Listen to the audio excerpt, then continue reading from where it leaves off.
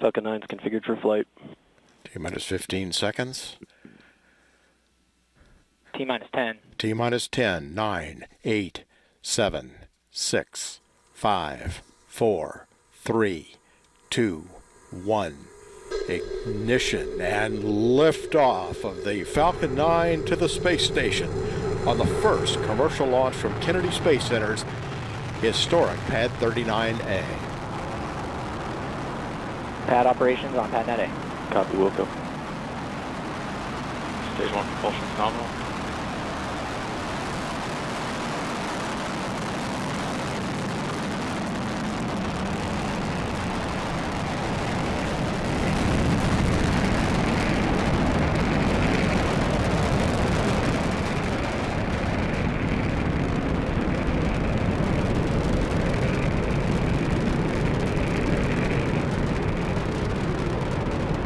Power telemetry on nominal.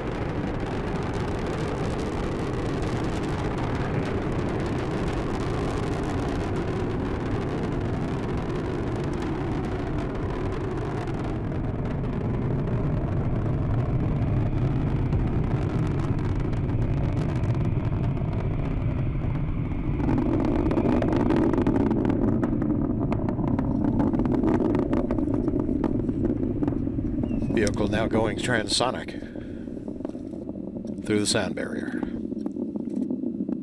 Maximum dynamic pressure is reached.